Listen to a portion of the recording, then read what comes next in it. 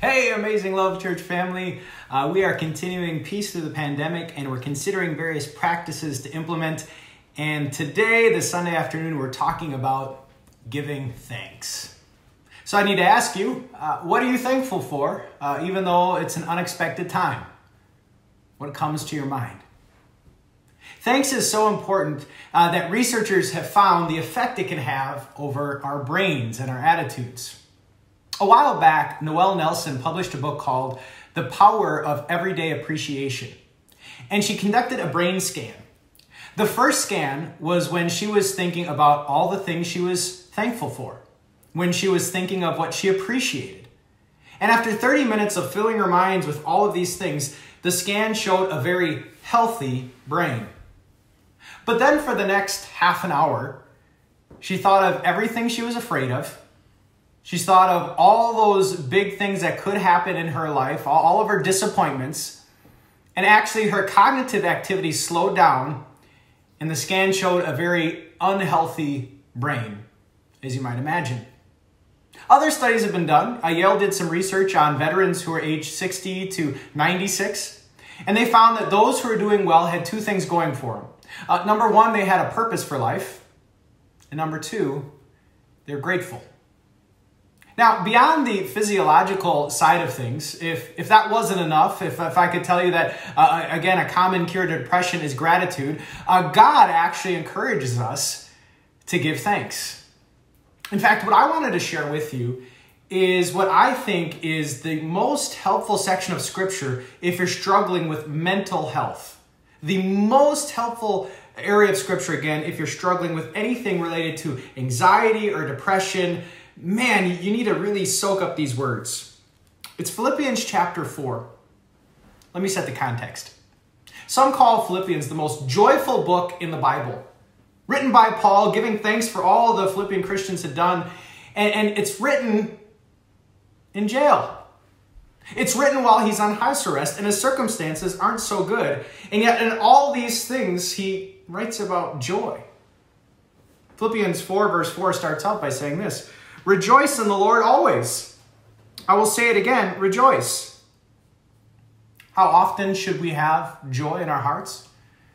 Paul would say every day, no matter the circumstance. COVID 19, I'm feeling good, I'm not feeling good. We can have joy in the Lord. Now, joy is different than happiness, I, I would grant you, um, and, that's a discussion for a different day. Uh, but, but joy in deep seated things of the Lord. It goes on to say, Do not be anxious about anything, but in everything by prayer and petition, with thanksgiving, present your requests to God. With thanksgiving, present all the things that are on your mind, all the things that would worry you or, or create anxiety. In fact, I remember when my bride, my resident theologian, taught me about uh, Maundy, Thursday. And she was struck by the fact that after Jesus broke the bread, what did he do? You, you might just gloss over it. He gave thanks. Even though the next day was Good Friday, even though the next day he'd give his life, as he broke bread, he gives thanks. How wonderful it is to do. But you may know that this is not something that comes innately to us. It's not always easy to be thankful. In fact, I'm reminded of the Old Testament Israelites uh, maybe you know this story. They were rescued from Egypt, where they were slaves. That can't be good. They were rescued through 10 incredible plagues, and then they were brought through the Red Sea on dry ground, and, and God swept that army up in the sea, and, and they were safe. God had promised them a new land, the land of Canaan, flowing with milk and honey and all sorts of good things. And yet, when they had a little bit of struggle, when they didn't know when the next meal came from, Look at what Scripture records. It's in Exodus chapter 16, where they said, verse 3, If only we had died by the Lord's hand in Egypt. There we sat around pots of meat and ate food all we wanted. But you brought us out into the desert to starve this entire assembly to death. They were looking back at the glory days of being a slave. That doesn't make a lot of sense. But it does remind us that gratitude does not come easy. In fact, I wonder when it comes to our prayer life, how often is God uh, hearing, give me and give me and bless me and bless me? How often do we then return in thanks for all that He's granted? In fact, uh, today we talked about uh, leprosy at church, and uh, reminds me of, you know, if you'd have COVID 19 and how separated you have to be. And when God healed those lepers and made their dreams come true and they could return to their families, um, how many came to give thanks to God? Just one. 10%. That's not a good percentage of gratitude. So God reminds us give thanks. In fact, you might know that because salvation is not up to us, we can't add to the finished work of Christ. The only thing we can do is thank God with our lives, with how we act and what we do. We can't add to salvation, but we can live a life of thanks. And so God says, you know what? Finally, brothers, whatever is true, whatever is noble, whatever is right, whatever is pure, whatever is lovely, whatever is admirable, if anything is excellent or praiseworthy, think about such things. I think one of the greatest things that is noble and lovely and admirable is God. God and what He's up to right now. Is He still in control right now? What is lovely and admirable? The spiritual blessings that cannot be taken away, the forgiveness of sins eternal life in heaven, the presence of God and his help no matter the circumstance, which he promises to give. We can give thanks in healthy and unhealthy days during COVID 19 and beyond, knowing that God has these blessings for us every day that we live. So, what are you going to do to implement things? You know, there are a lot of different ideas. Uh, one idea is to have a mason jar, and every time a good thing happens, to write a note on it and uh, and just remember what date it was that you were thankful and what you were thankful for. If you're a journaler, another thing you can do is uh, journal about your thanks. But I need to call some helpers over, and my helpers are gonna uh, show us uh, a little bit of the Bloomer household. So I need you to introduce you to my family.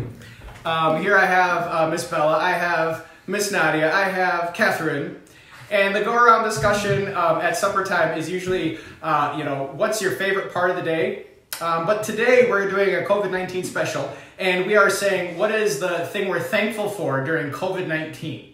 All right, so here we go. Uh, Bella, can you start us off? What are you thankful for? Well, for starters, I'm very thankful that in the middle of doing homework, I'm able to eat snacks whenever I want to. That was not a thing when I was in school, but I can just get up and go to the pantry at any time. But besides that, I also enjoy the family aspect, which is so much more great now. Like, I can just get up and watch a movie with my family at night when before I would be worried about homework. I can go as, on as many walks as I want to with my mom and dad. And it's amazing how much more we're, we've been able to bond throughout these past days. Awesome, Bella. Great job. Noodle, what about you? What are you thankful for? Uh, I'm thankful for family that I can play games with them. That's awesome. That's awesome. All right, Mom. What about um, you? Even though Dustin and I still work and the girls still have e-learning, I'm thankful that our schedule is much more relaxed. Absolutely, absolutely. What am I thankful for? It's it's these characters, my girls, and um, also thankful for a church family. Uh, today, when everything got done, uh, some very kind angel came in and gave me a whole box of these. Thank you, Leslie Bussey. Uh, and, and not only that, but we have some amazing church swag. Yeah, do you see it? Do you see it? Pick Jesus. Spread the sriracha, Jesus. There we go. Thank you, Potempa family, and, and for those who provided this wonderful church swag. Um, and, and, and, most of all, um, just this time together. That we know who's in charge. We know who loves us and is with us. He's the same God who's with you. Loves you more than you possibly know. Loves you more than you possibly know. Uh, so let's join and give him thanks. You ready, girls? Yes. I'll, I'll say the prayer, okay? All right. All right. So, Heavenly Father, you are good. You've always been good. You don't know how to be bad. And thank you for giving us continually perfect gifts that come from, from you. Uh, Lord, thank you for our Savior, Jesus Christ, for the forgiveness of sins and our eternal spot by you. Uh, thank you that you've uh, placed us in, in relationship with other people. Um, and I pray for those who may be feeling more isolated right now that you'd comfort them with your presence. I pray for those who are sick right now, especially John Krug, that you would heal him and be with him. Um, but Lord, thank you um, that you are gracious in spite of all that we go through, that you're in control right now. In Jesus' name, Amen. Amen. Amen. Thanks all. Bye. Thank you.